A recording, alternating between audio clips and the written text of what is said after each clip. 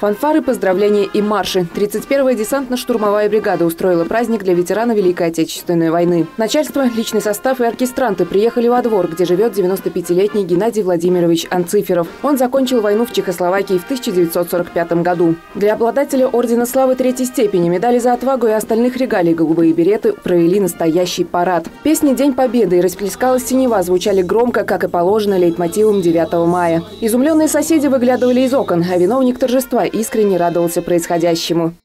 Искренняя благодарность за понимание нашего времени, тех жертв и тех подвигов, что были во имя нашего Отечества. На мини-параде присутствовала и дочь отважного десантника Лилия Геннадьевна. Лилия призналась, отец для нее главный пример сильной личности, любящего папы и профессионала своего дела.